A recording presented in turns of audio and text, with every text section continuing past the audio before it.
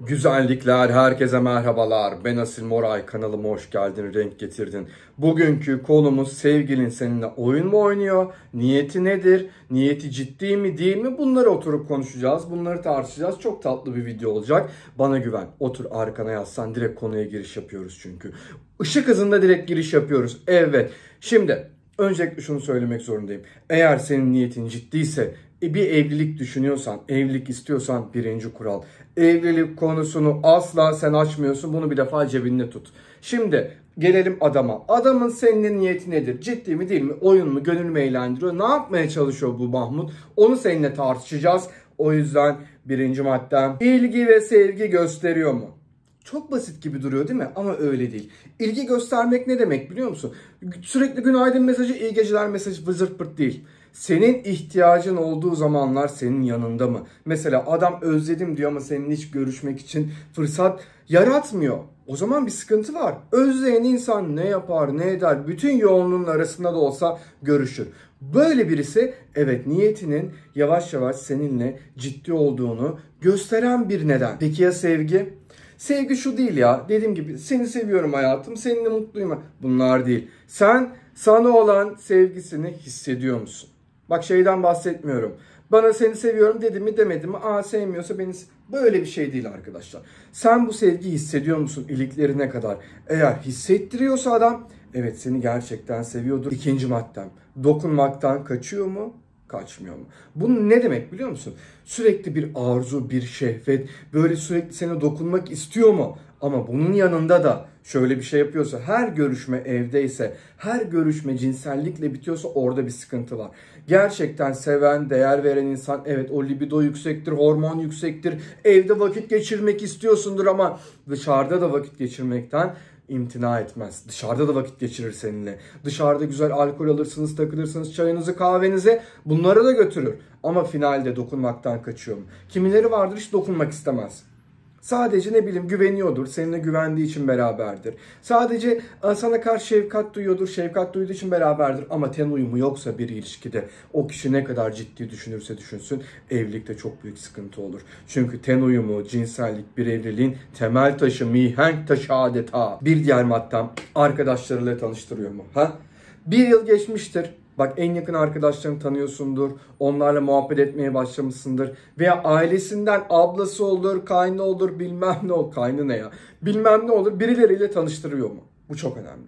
Eğer tanıştırmaya başladıysa sana karşı niyetini buradan bile anlayabilirsin. Bir diğer maddem saygılı davranır ya. Bu adamlar saygılıdır. Küfür etmez, şiddet asla uygulamaz seninle ciddi düşünüyorsa. Ama kimi kadınlar var bu tarz tiplerden hoşlanıyor. O kadınlar benim kanalı izlemesin zaten. O kadınlara ben hiçbir şey söylemiyorum. O kadınların bakış açısı da değişmez. O yüzden dikkat et bak, bak bakalım. Küfür bile çok önemli. Ve bunları nerede anlarsın? Trafikte, insanlara karşı, çocuklara karşı nasıl? Trafikte sürekli agresif mi, öfkeli mi, küfür ediyor mu? Buradan bile aslında anlayabilirsin adamın hangi tarz bir yapıda olduğunu ve hayvanlara davranışından. Bir adam bir hayvana çok kötü davranıyorsa, böyle tekme atıyorsa, bilmem ne bir şeyler yapıyorsa aman uzak dur ya. İçinde vicdan olmayan adam evlenmesin çünkü onunla mutlu olamazsın. Şimdi gelelim sana saygı konusuna. Sana saygı konusu nasıl? Dediğim gibi küfür, şiddet bilmem ne bunlar yoksa evet Adam o zaman seninle beraber doğru yolda. Ayrıca saygı çerçevesi içinde şunu da söylemek zorundayım sana. Asla gruptur, işte ne bileyim çoklu ilişkidir, MMF veya FMM bilmem ne bunların asla hiçbirini teklif etmez. Neden? Çünkü kadınını paylaşmak istemez. Gerçekten seven adam. Diğerleri gavat. Bunu yapanlar gavat. O yüzden öyle kadınlar da var. Diyor ki danışanlarım da var. Diyor ki asıl be beni çok sevdiğini söyleme grup tekli. Ya yok güzelim sen ne manyak mısın ya? Öyle bir şey olduğunda ne bir adam seven adam bunu yapar mı? Akıl var, mantık var. O yüzden anında kaç. Uzaklaş. Sana şimdi çok belki bunu duymayanlar için çok ekstrem bir durum gibi geliyor olabilir ama var. Bunların hepsi var ve yaşanıyor. Dedim ya görüşmeniz asla cinsellikten cinselliğe değildir. Dışarıda da vakit geçinir. Ayrıca bahanelere yer yoktur bu adam için. Niyeti ciddi olan adam, evlenmek isteyen adam şunları bile bahane etmez. Yok işte ekonomi çok kötü ne yapacağız ne edeceğiz bilmem ne. E sen erkeksin ya bunu sen çözeceksin.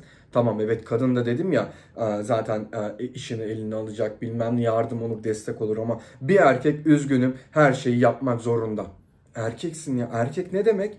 Erkek özgüvenli olacak, erkek tuttuğunu koparacak, erkek dediğin zorlukların üzerine gidecek, üzerinden gelecek. Ama sen oturup işte "Aa, evler çok pahalı, kredi ne yapacağız bilmem ne. İki iş yapacaksın genelde sevdiğin kadın için.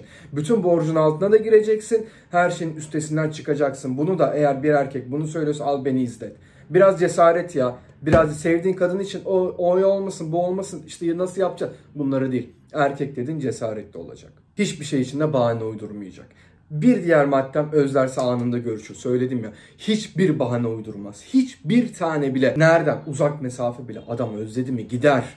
O yol parasıymış bilmem neymiş onları bunları düşünmez ya. Erkek dedin yapar ya.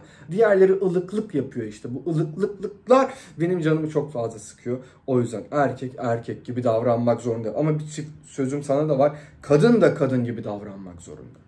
Bak çok fazla maskülensindir, çok fazla erkeksisindir. Bunları törpülemek zorundasın. Çünkü erkek dediğin biraz cilve bekler. Erkek dediğin biraz böyle e, tatlı söz bekler, takdir bekler. Nasıl ben şu an erkeklere gömdüm. Erkek yapmak zorunda. Erkek evet hayatın tuttuğunu koparmak, hayatın üstesinden gelmek zorundaysa Kadın da nedir? İşte her başarılı erken arkası bir kadın yatar mevzusu buradan geliyor. Kadın destek olur. Kadın takdir yapar. Kadın böyle pohpohlar eder. Kadın biraz yönetir erkeği.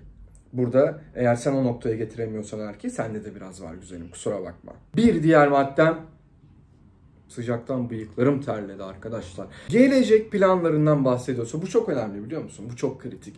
Dedim ya bak işte nasıl olacak nasıl olacak hiç evlenemeyeceğiz bilmem ne işte görmüyor musun kira fiyatlarını falan.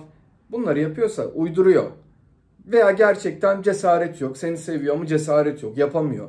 Ama gelecek planlarından seni de için içine alıp bahsediyorsa mesela örnek veriyorum adamın yurt dışı planı var. Hayatım böyle böyle bir şey yaparız. İşte o süre zarfını sen işten ayarlarsın. Bir yurt dışı planı yapabiliriz. Yurt dışında yaşayabiliriz. Bak örnek veriyorum. Veya der ki il dışı. Bak burada kiralar şöyle, kiralar böyle. Ne yapalım? Hani şuraya atanırsam şöyle olur, böyle olur. Sen de gelirsin yanıma. Veya bir küçük dükkan açarız, ikimiz işletiriz. Ne dersin falan. Bunlar hep gelecek planları. Eğer gelecek planlarından bahsetmeye başlamışsa sana enfes. Hepsinin içinde. Ve bu sefer sen kendin içinde bir şeyler yapmak istersin. Onun içinde bir şeyler yapmak istersin. Gerçek birliktelikler bunu gerektirir çünkü. Karşılıklı fedakarlık. Burası çok önemli. Eğer gerçekten adamınla beraber sana sahip çıkmasını, bak sahip çıkma o anlamda değil. Bir kadın her zaman yaslanabileceği bir omuz ister. Ne kadar güçlü olursa olsun. Hem maddi anlamda hem manevi anlamda. Ne kadar güçlü olursa olsun yaslanabileceği bir omuz ister. Bu 2-2-4.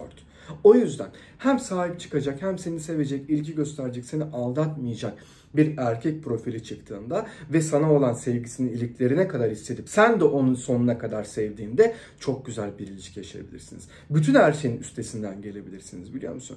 O yüzden bütün zorlukların üstesinden gelebilmek için önemli olan el ele vermek. El ele vermek. Sen gerçekten gönülden seviyorsan, o da seni seviyorsa aşamayacağın, aşamayacağınız hiçbir sıkıntı yok. Aileymiş bilmem neymiş. Aileler de için içine giriyor. Biliyorum eğer o noktaya gelenler varsa ne zorluklar çekiyorsunuz biliyorum ya ne sıkıntılar çekiliyor. O onu istedi. Yok kaynanan perdeye karıştı. Yok halıya karıştı bilmem ne. Erkek burada karıştırmayacak. Bu da çok önemli. Veya erkek tek çocuktur bilmem nedir. Annesine çok bağlıdır. Erkek de düzene oturur. Emin ol. 2-3 yıl içinde düzene oturur. He, senin bu kadar sabrın var mı? Onu bilmiyorum. Veya erkekte o ışığı görüyor musun? Onu bilmiyorum. Ama kimi erkekler var. Videolarda görüyoruz ya pasta kesiliyor düğün zamanı. Adam ne yapıyor? Eşine yedireceğine nişan ya. Gidiyor annesine veriyor. Annesi de güzelce yiyor ilk. Eşine vermiyor bile. İlki bırak. Rezalet. Sen şimdi bu adamla nikah masasına oturursan ömür boyu mutsuzluk seni bekler güzelim hiç kusura bakma. O yüzden en baştan gönül evet seversin edersin ama mantığını da biraz ön plana çıkar. Çok fazla anneci erkekler biraz sıkıntı olabilir. Ha, ışık görüyorsan emek veriyorsa adam okey sen de yanında dur üstesinden gelirsiniz. Dedim ya sevdikten sonra sevginin aşamayacağı hiçbir engel yok ama biraz mantığı da ön plana koymak lazım. Seni kocaman öpüyorum kendine çok güzel bak. Başka videolarda görüşeceğiz. Videoyu beğenmeyi, kaydetmeyi ve abone olmayı unutma. Instagram'a da gel bekleniyorsun. Hoşçakal güzelim.